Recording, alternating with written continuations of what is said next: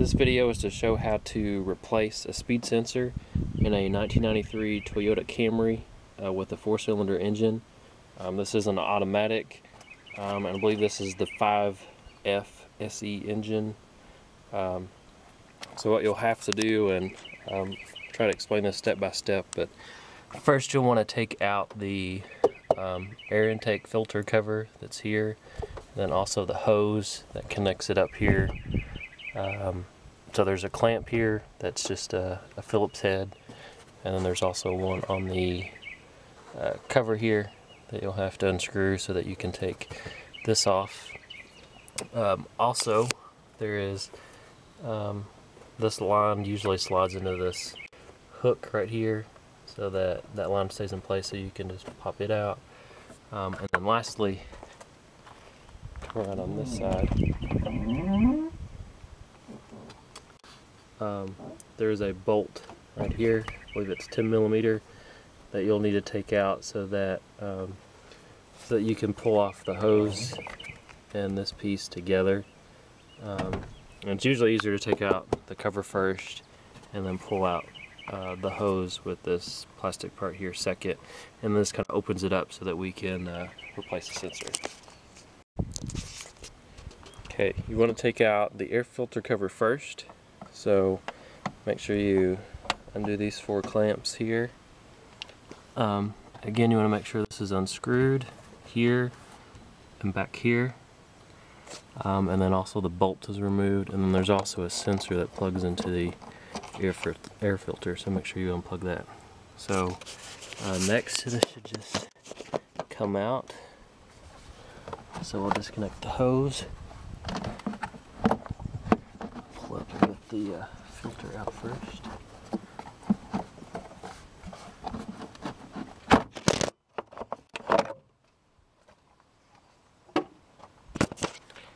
Alright, so once the cover's off, um, I like to take the filter out and use it as sort of like a sort of a keepsake to hold the bolts and the sockets that I'll use. Um, so again, you'll loosen this screw that's here for that clamp and this just pulls off. Uh, then you'll just have to kind of fish this out. And the whole thing just comes out. Alright at this point um, what we need to get to down here. You'll see that gray connector.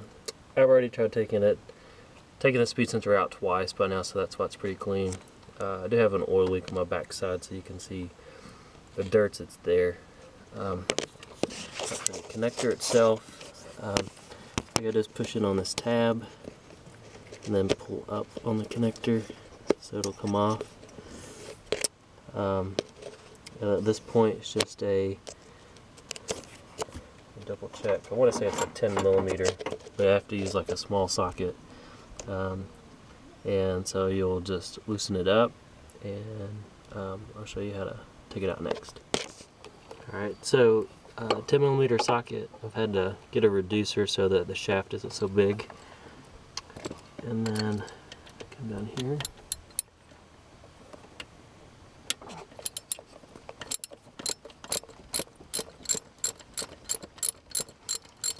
I will say if it's pretty dirty down here to uh, be careful when you remove the bolt and the sensor itself because the hole, when I did it the first time, I got a lot of gunk down on the hole and I had to clean it out. So.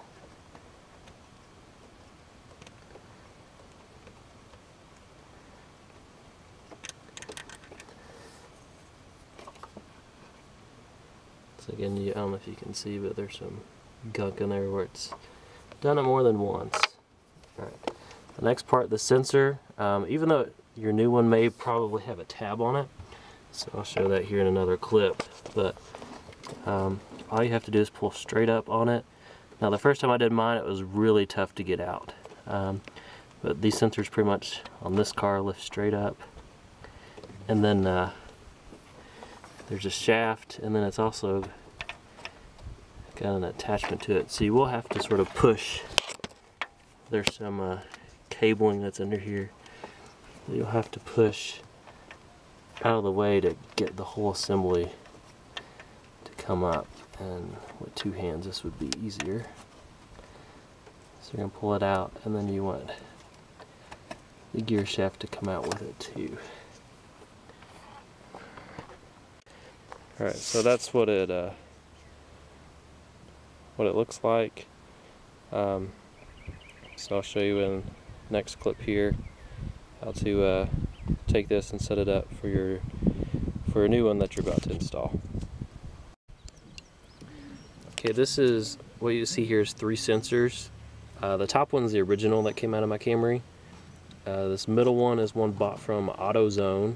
Um, it was $135. Uh, they're normally like 160 It's by Duralast. Um, and I just got it today. And then the bottom one is uh, another speed sensor that I got off of eBay for $20. Um, the original one um, has sort of this locking pin that wraps around the shaft. Um, and then it's also which holds this sort of uh, shaft that comes up into here that has the gear on it, which touches gears in your transmission.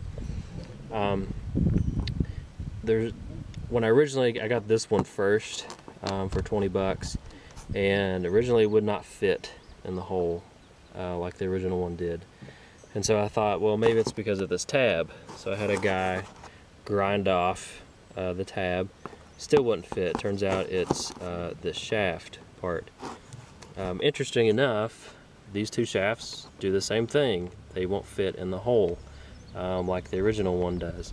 So I had some uh, think it's three or 400 grit sandpaper, 320 grit, um, and sanded on my cheap $20 one. Um, and after sanding on it for about five minutes, uh, sort of around in circles, uh, it is uh, enough that it does fit down in the hole. So what I'm going to do is uh, carefully pop um, this locking sort of pin, this locking ring. So you sort of just pull it up from the edge and then it'll come out uh, that lets you slide this whole shaft out. You'll line it up with the uh, tab that's down in that hole, uh, the slot, and then once it's in there, uh, you might have to twist the gear a little bit to get the locking pin to sit uh, fully onto the shaft of the sensor. Um, and that way it's just pretty much the reversal. Should be able just to put it back in the transmission, and then we'll give it a test run and see how it goes. Okay, I just got back from uh, driving the Camry. Um, what I ended up doing on the on the $20 sensor that I had, of course I told you I'd, I'd ground off this sensor, I grounded it off. Um, but to make it fit, this is the $140 one uh, AutoZone. Um, this part was still too wide.